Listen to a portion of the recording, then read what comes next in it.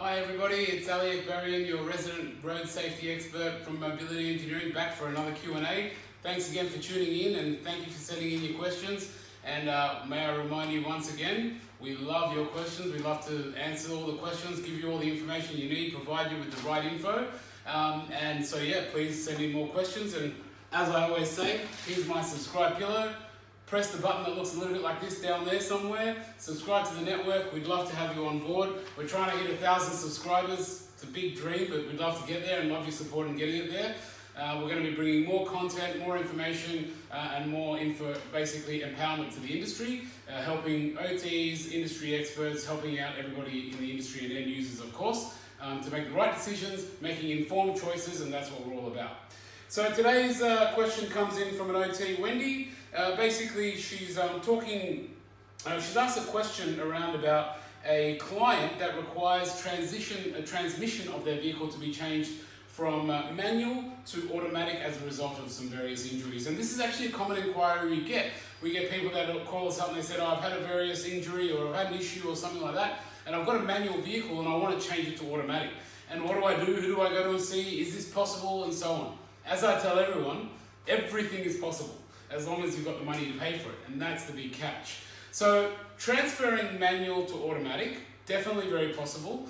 Who you would go and see would be a combination of two people, would be a, um, a, a, mechanic or somebody that works with transmissions, mechanics or vehicle, you know, uh, engineers and, and vehicle builders, you know, performance vehicle builders, things like that. Um, and you'd also need to see like a compliance or certifying engineer, depending on the state that you're from.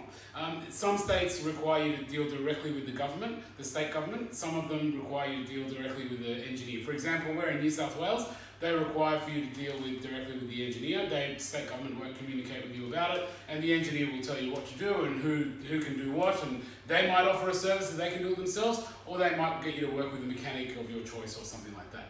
So that's, that's one, um, one way of doing it. Another way is, for example, in Western Australia or, or South Australia, the government, state government directly inspects and, and works with you on those vehicles. So you would approach them, uh, you get an authority that you want to get your vehicle converted, and then um, and then basically you know you go and get the vehicle converted, and they inspect it, and they, they let the converter know what kind of um, you know, constraints they need to do, um, what they need to build it towards, and then you get it built and they inspect it and away you go.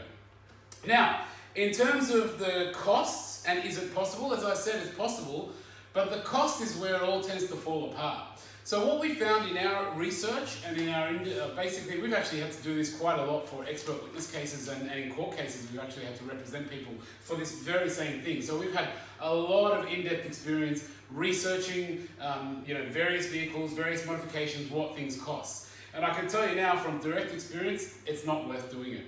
It is absolutely not worth doing it. We, it, it will cost you thousands upon thousands to do something like this. Lots of things need to be changed. The vehicle needs to be reinforced. Um, you might need to put center consoles in, you know, take things out.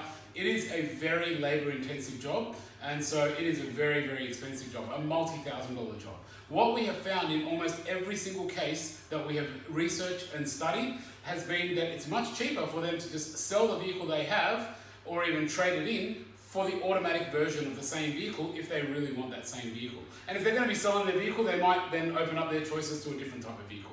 But the point is, is what we found is selling that vehicle in its, in its original state, and I've spoken about original state vehicles in the past, and I'll explain why in a minute. Selling that vehicle in its original state is going to give you much better bang for buck to be able to then go and buy another vehicle of the, you know, a similar type of vehicle, but basically in automatic. Now, First of all, if you convert the vehicle from manual to automatic, that is now a modified vehicle.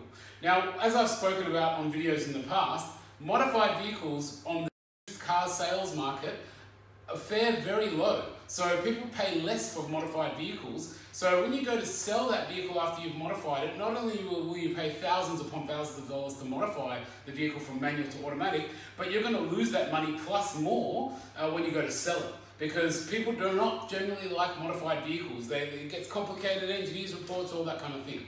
So if they have a choice, the person would rather go and buy the unmodified manual one rather than, or automatic one, sorry, rather than the modified automatic one. So that's what we found in our research in the industry, and that's what we would recommend is just go sell that vehicle as it is and buy a different one. Um, you will find, yes, you might need to make up some costs if you're going to buy the exact same one, but it opens up your choices to, to various different vehicles on the market. Um, so that's what we have found through research would be the recommendation. But as I said, it is possible to do, and it's definitely, you know, you need to see an engineer and you need to see, see state government and a mechanic to get it all done. Definitely doable, but you will spend a lot of money. You're going to spend money on the transmission, um, you're going to spend money, which is going to be a couple of grand, I reckon. Um, the last time we checked, we, we did the last one we did was on a Holden Rodeo, and a transmission was about two and a half thousand dollars. And the labour we priced around about eight thousand dollars. So that was about ten and a half thousand dollars just to convert it. When as the well, that was almost actually the price of a new vehicle, given that case that we were working on.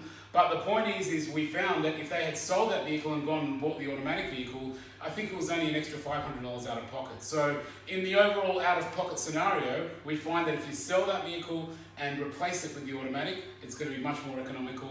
And to be honest, in the long run, probably a little bit better and, and, and less technical issues because you haven't had someone pull the whole car apart and, and put it back together. I mean, if it's engineered properly, it should be done well. Um, but again, you know, once people start mucking around with that stuff, it increases the risk of things going wrong. So thanks very much, Wendy, for your question. Hopefully that helps. And I said, as I said to all of you out there, please send in all of your questions. We're happy to answer your questions. And once again, remember to hit that subscribe button. Respect the subscribe pillow, I love it. And um, one other thing I'll mention, as we say over here, we have just launched our 30 year logo. This year is our 30th year in business. We've been in business since 1988. Um, a very key year in Australia to be to start a business, the bicentennial. But also, um, yeah, we're very proud to be around for 30 years and a very, very dynamic and strong, uh, family-orientated Australian company that we are hoping that we can take it to more than 30 years and beyond, um, servicing the industry and keeping up to date with everybody and, and helping out like we did from 1988 all the way to now. So thanks for tuning in again, and um, see you next time.